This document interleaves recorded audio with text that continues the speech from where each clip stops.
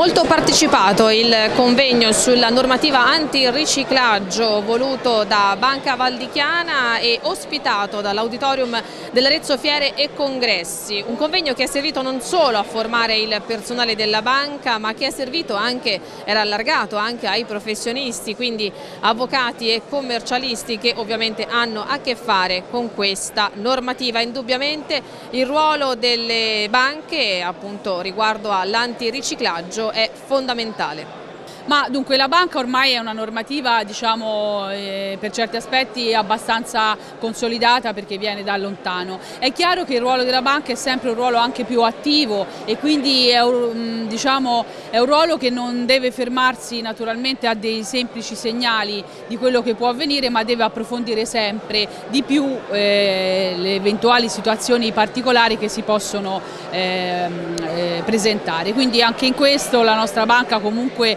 avendo una conoscenza molto diretta e molto vicina al proprio cliente è in grado anche poi di valutare quali sono le operazioni e le situazioni da eh, segnalare, da approfondire rispetto a quelle che magari soltanto apparentemente possono dare qualche piccolo segnale di anomalia ma che poi sono riconducibili alla situazione di normale operatività. Sappiamo tutti benissimo che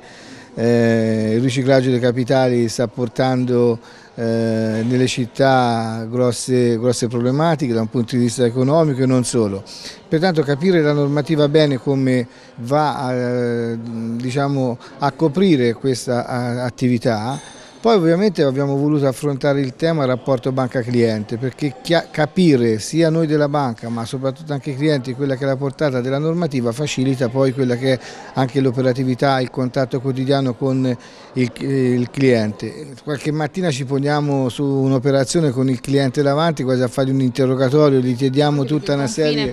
Esatto, esatto, c'è tutta una serie di informazioni che andiamo a recepire per eh, con il cliente eh, riempire i questionari per la maggiore verifica che va effettuata sulle operazioni. Anche noi vogliamo essere nello stesso tempo discreti, eh, vicini al cliente quando facciamo questo tipo di attività, nello stesso tempo un grande rispetto della norma perché questo deve essere assolutamente fatto perché poi ci sono responsabilità anche penali da, da, dal punto di vista degli addetti al lavoro. Pertanto è una normativa che va a toccare quel confine, quella sfera personale che nel rispetto della norma va anche gestita in maniera coerente nel rapporto quotidiano con, con la nostra clientela.